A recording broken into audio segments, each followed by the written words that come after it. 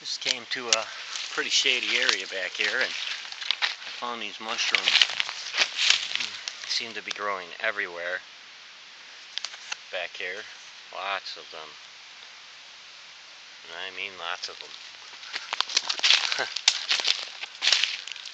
They're everywhere.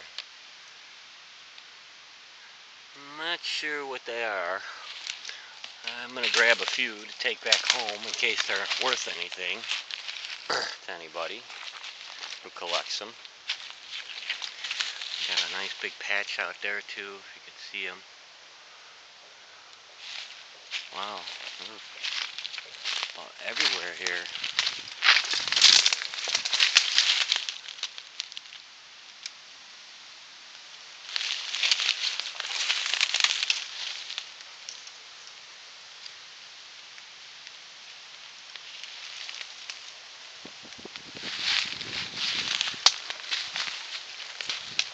This is how you find the good stuff. You gotta go off the trail and into the forest or woods, whatever you want to call it.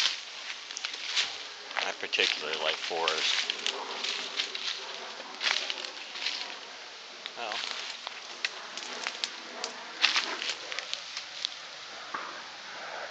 here they are, and uh, give you a good idea of how big these are. Here's my hand.